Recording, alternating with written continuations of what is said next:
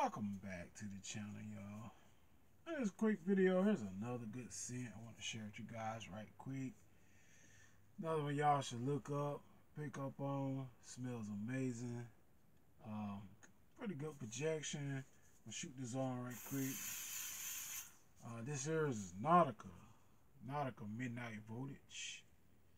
Smells very good. Similar kind of a little bit on the sweet side of things, man. Smells amazing. You get tons of compliments with this one. Um, yeah, when you first apply, you get about a good two hours of projection with a longevity somewhere between four and six hours, which is good. I just want to bring it up, throw it out in a little short video, just to share with you guys. This is one you definitely should pick up detailing them cars, or just carrying your lady or your wife out on a date, dinner date somewhere, no matter where, steakhouse. Um, uh, I don't know exactly where you might go.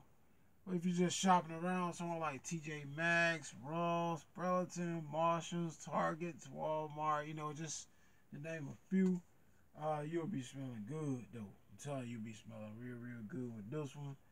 Once again, it's Nautica midnight voyage, man, and uh, and it smells amazing, man. I'm telling you.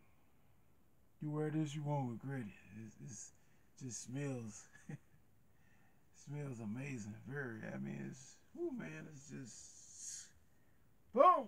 Oh, this smells so darn good, man. Yes, uh, that's right.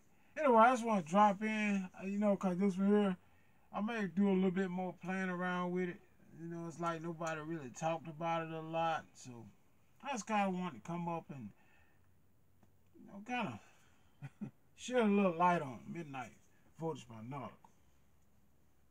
Alright, hit that subscribe, man. I'm out. Peace.